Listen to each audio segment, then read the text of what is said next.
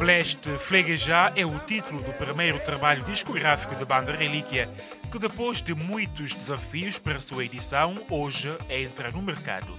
Peste fleguejar, eu quero dizer, é a nossa língua materna, porque nós primamos uh, pela coisa da nossa terra, a nossa língua, e como vê, 90%, para não dizer 100% das músicas contidas neste álbum é só na nossa língua materna. E peste fleguejar significa alguém na zona que é impossível, incomoda todo, todos e toda a gente, e por isso mesmo, mas no fim, ela vai precisar dessas pessoas que ela incomoda, que ela banaliza.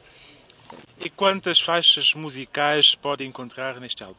Nós temos 10, 10 faixas e todas elas são boas, pelo menos o que me disseram. Nós recebemos o CD ontem por volta das 16 horas, mas eh, até 20, 20 e 30 já tínhamos vendido cerca de 50 CDs e quer dizer que o público santomense está a gostar e estamos a ser parabenizados pelas músicas contidas no álbum, quer dizer que estamos no bom caminho.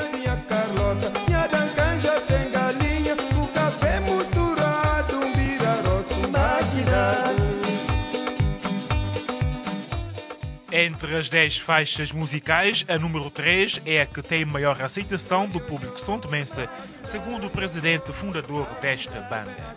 Eu, pelo menos, tenho dito que a faixa 3, que é eh, Recordando as Nossas Relíquias, que é uma junção de música eh, de CTT eh, de São Tomé e as músicas cabo-verdianas, porque nós fomos buscar aquelas relíquias, que, porque nós somos uma miscigenação de raças, existe somos todos irmãos e por isso é que esta música é uma das que está a bater, porque ela é uma música é, social e as pessoas estão a gostar. A faixa número 3.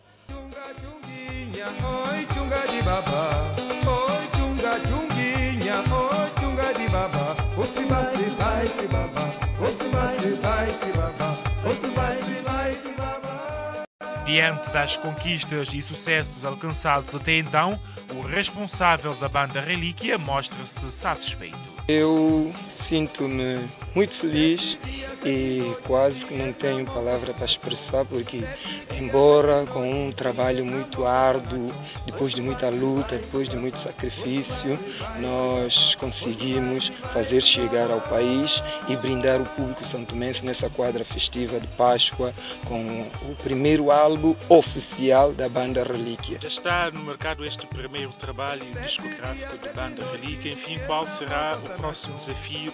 Quais são as ofertas que vão colocar à disposição do público São Tomé?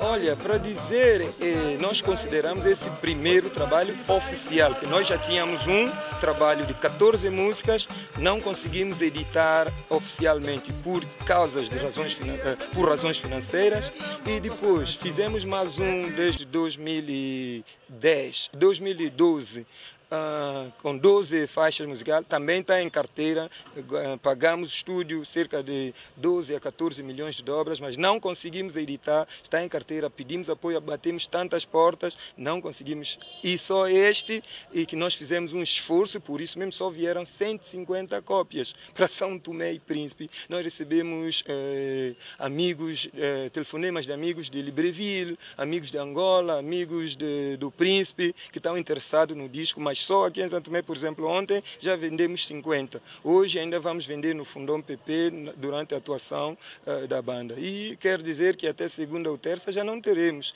Pronto, é o esforço que nós fizemos. Se nós conseguirmos mais algum apoio, mais algum patrocínio para reeditar o, o, o trabalho e bem como outros que estão já uh, com CD Master feito, faltando apenas a publicação, nós oferecemos ao público santomense muitas músicas e boas para agradar os ouvidos. E porque todo o trabalho carece de uma luta, José Sardinha diz que não foi fácil todo o processo até que saísse ao público santomense esta obra. Batemos tantas e quantas portas, nenhuma se abriram e fomos buscar apoios por outros lados, mas ninguém nos abriu a porta, pensando que pronto seria alguma coisa de brincadeira, mas por meu meio próprio, mas o grande amigo do peito, que é o senhor Délcio, do contentor de reboque, conseguimos fazer uma contribuição entre nós